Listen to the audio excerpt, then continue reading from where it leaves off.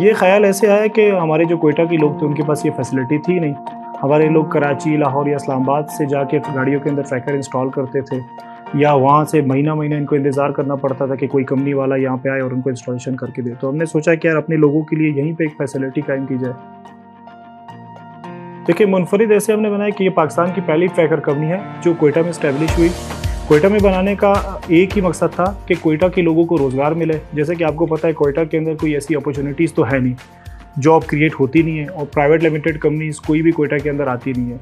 लोगों की यही कोशिश होती है कि कराची, लाहौर या बड़े शहरों के अंदर ऑफ़िस ऑपरेट करें। तो हमने यही चाहा कि कोयटा के अंदर हम कंपनी बनाएँ ताकि कोयटा के लोकल लोगों को यहाँ पे रोज़गार ज़्यादा से ज़्यादा मिल सके।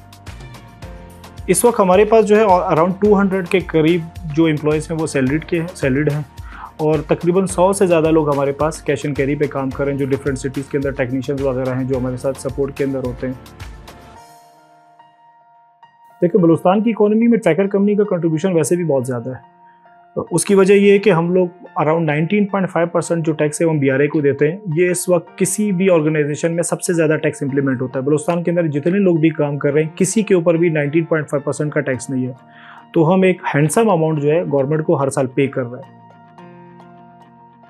हमने भी बड़ा सफ़र किया शुरू के दिनों में इंटरनेट के मसले थे, आपको आईटी के लोग नहीं मिलते थे, आपको सर्वर्स मेंटेन करने के लिए टीम्स नहीं मिलती थी, आपको टेक्नीशियंस नहीं मिलते थे। लेकिन हमने वो हार्ड टाइम गुजारा, वो टफ टाइम हमने गुजारा और अलहमदिल्ला अभी आप देख रहे हैं क्रिसन पाकिस्तान की टॉप तीन कंपनियों के अंदर है।